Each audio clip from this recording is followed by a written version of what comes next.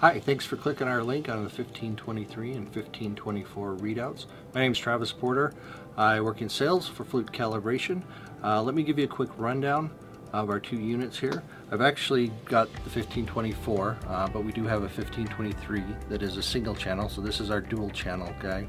Uh, the great uh, thing about these units is they do utilize our Infocon um, connector technology, which allows for quick plug and play uh, between multiple probes. So it allows a user uh, to go between multiple applications without having to stop, reprogram, or enter uh, coefficients. You can also get our universal uh, TC adapter, which you can program for multiple types of TCs um, throughout the uh, base metal TC. Uh, here I've got a couple of Ks um, just to kind of show you a quick demonstration, but let's just show you how this works. So unit's on and powered up. Uh, what I've got here is a thermistor probe. Uh, again, it's already pre-programmed. You plug and play, and here, now we're ready to go. Now if our application changes and we needed to go say for a higher temp application where a RTD is required, so now I've got my RTD probe here. I'm going to plug and play as well.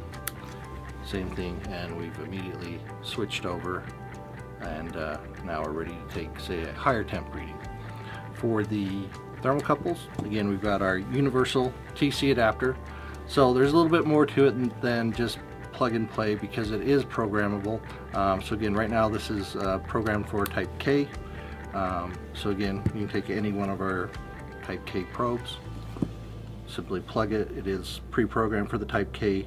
Uh, but if you needed to say change it to a J or T or something else, you would use our software to basically tell it what you're going to be connecting it. And again, you plug in and you're ready to go. And again, if there was an application where you're, say, reading a device under test that was a thermocouple, again, say your reference standard, which could be the PRT. Now you've got your dual set up and you're ready to log and take your uh, data.